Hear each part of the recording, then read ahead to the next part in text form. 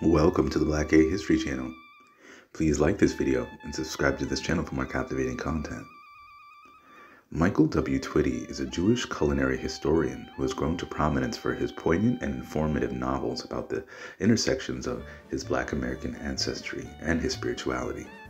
After converting to the Jewish faith at 25, Twitty would travel through the American South and Africa and develop his own unique culinary interests and the stories that made distinct cultural recipes special.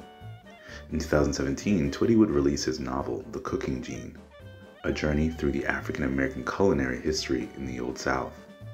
The book's description reads A renowned culinary historian offers a fresh perspective on our most divisive cultural issue, race, in this illuminating memoir of Southern cuisine and food culture that traces his ancestry, both black and white, through food from Africa to America and slavery to freedom. In August of this year, he would release his next novel, Koshersoul, where Twitty compares and contrasts African American and the global Jewish culinary arts and cooking recipes.